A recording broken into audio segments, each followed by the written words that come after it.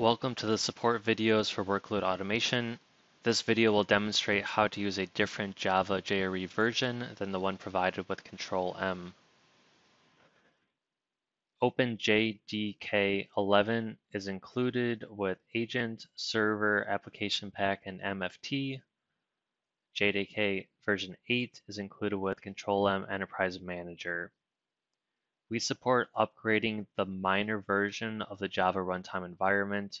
For example, version 1.8, which ships with the Control-M product, can be upgraded to 1.8.minor version, but not 1.9.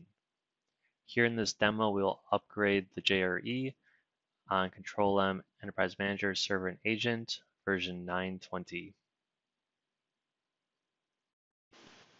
From a command prompt, we will echo the Enterprise Manager Java Home environment variable, and we can see the current path. Next, we'll echo the CTM Java Home variable, and this is used by Control-M Server and Agent. We can navigate to this path in Windows Explorer, and from command prompt, we will check the current Java version Enterprise Manager comes shipped with 1.8.0.192. And we'll check the second path. And again, run Java version. And we can see that Control-M server and agent are using version 11.0.5.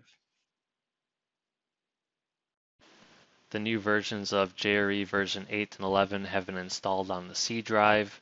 We will update the Windows environment variables by navigating to System, Advanced, Environment Variables. First variable ctm underscore java underscore home. Replace the path to the path with the new JRE version 11 and click OK. Next, navigate to the em underscore java underscore home and replace the current path with the new path to JRE version 8 and click OK. Next, navigate to the path,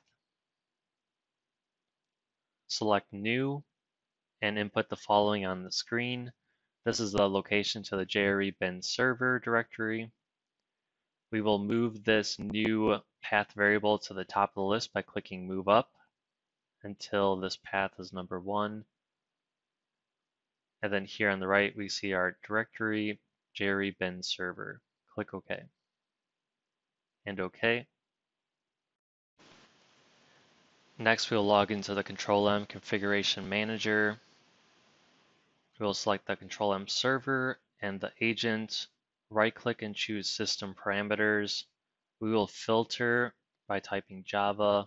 Select the AG underscore Java underscore home and replace the value with the path to the new JRE version 11 and click Save.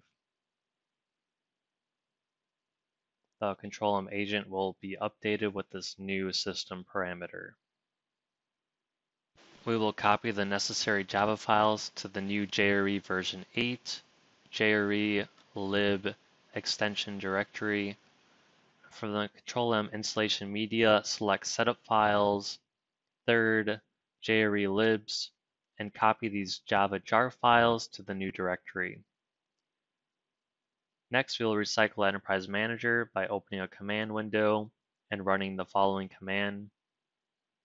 This will shut down the Control-M Enterprise Manager components. Next, open the Services menu, right-click Enterprise Manager, and start the service. Next, recycle a Control-M server by choosing desired state and recycle from the Control-M Configuration Manager.